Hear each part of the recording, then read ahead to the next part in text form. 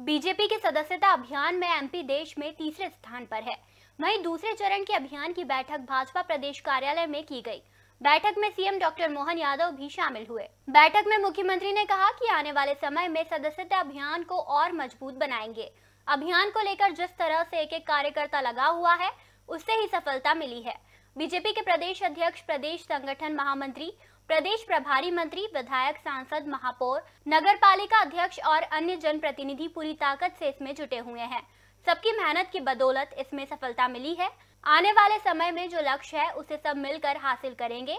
इसमें वे खुद भी शामिल होंगे। मुझे इस बात की प्रसन्नता है, मुझे इस बात की प्रसन्नता सदस्यता अभियान को लेकर के जिस प्रकार से हमारा एक एक कार्यकर्ता नीचे तक लगा हुआ है। माननीय प्रशासक जी, माननीय प्रभारी जी, माननीय संगठन महामंत्री जी, हमारे सारे मंत्री, विधायक, सांसद, पार्षद, महापौर नगर पालिका निगम के अध्यक्ष, नगर निगम के नीचे तक के हमारे सारे कार्यकर्ता जिस प्रकार सदस्यता में लगे हैं, यही कारण है कि मध्य प्रदेश सदस्यता के मामले में बहुत अच्छे से चल रहा है।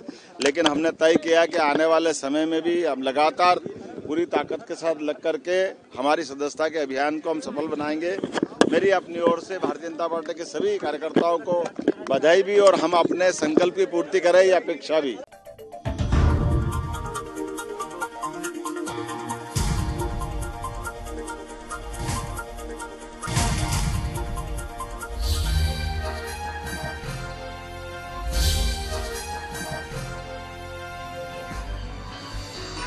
आप देख रहे हैं दखल न्यूज़।